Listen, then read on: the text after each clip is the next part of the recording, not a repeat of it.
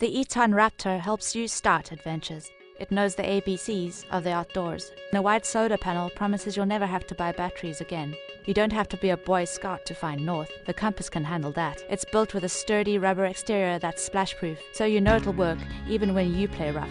The Raptor has a USB charger that will fit most cell phones and tracks higher elevations from the handy altimeter. Let's face it, the only thing the Raptor doesn't have is a voice telling you when to stop. But really, who needs to hear that?